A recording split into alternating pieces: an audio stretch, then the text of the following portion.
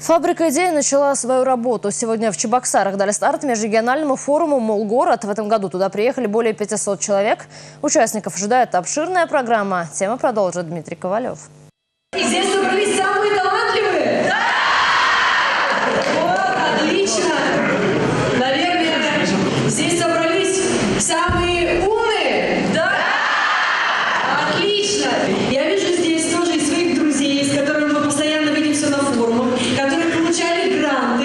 Эти молодые люди тоже стремятся реализовать свои проекты. Постоянные участники форума говорят, что именно здесь им удалось воплотить идеи в реальность. Мол, город стал эффективной площадкой для самореализации молодежи. Это отмечают и гости из других регионов.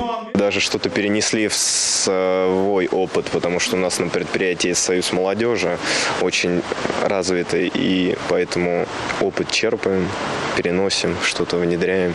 Я являюсь э, стипендиантом главы Чуваши, то есть я веду активную жизненную деятельность, э, участвую в массовых мероприятиях, культурных, спортивных. Э, все это интересует меня.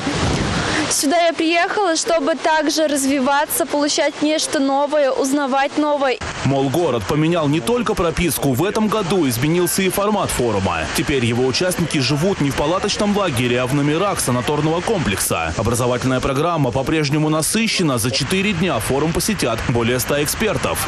Это представитель Общественной палаты Российской Федерации. Также будут эксперты из Татарстана, Санкт-Петербурга, Москвы. То есть образовательная программа, она действительно полезна для всех участников.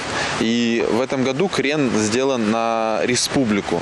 Стратегии развития республики на форуме будет посвящена большая часть лекций. Так, на одной из площадок молодые люди вместе с экспертами нарисуют портрет Чувашии будущего. Ну а сразу после церемонии открытия участники Молгорода смогли задать свои вопросы почетным гостям. Житель города Алатырь попросил главу региона преподать ему небольшой мастер-класс.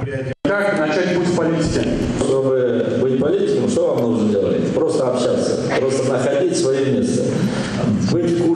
событий, политических ситуаций. Вы должны осознавать всегда свою ответственность, соответственно, за свою страну. Многие люди, с которыми приходится часто работать и встречаться, тоже никогда об этом не думали. Но им самое главное – доверяют люди. Михаилу Васильевичу доверили руководство республики именно вы. Членов общественной организации «Свобода» волнует вопрос развития в республике доступной среды в оздоровительных комплексах. Предложения ваши какие будут, по каким объектам вы составляете, соответствующие, где вы видите с вашей стороны, для того, чтобы в течение да, ну, двух-трех лет максимально снять все эти вопросы, которые есть. Вы показываете людям, что невозможно можно сделать в жизни и добиться успеха. Вот это очень стоит.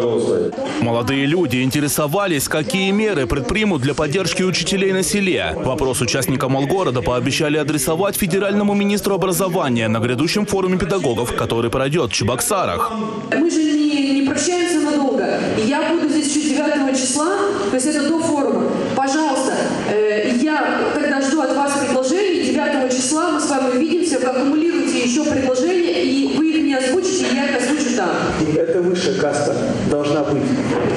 По-другому быть не может, потому что это фундамент, на котором строится страна. Но, к сожалению, сейчас мы не можем испытывать иллюзий. У нас есть обременение бюджета военное, но оно обусловлено так, что если мы этого не сделаем, нам некого будет учить. Инициативу участников форума взяли на карандаш. Их обещают поддержать. Эта инициатива всегда, она будет под вниманием э, органов власти и на те вызовы и проглашения, которые идут на адрес, мы всегда охотно реагировали и будем реагировать и общаться с нашей молодежью. Итоги форума подведут 11 сентября. Лучших участников отметят наградами. Дмитрий Ковалев и Сергей Адушкин. Республика.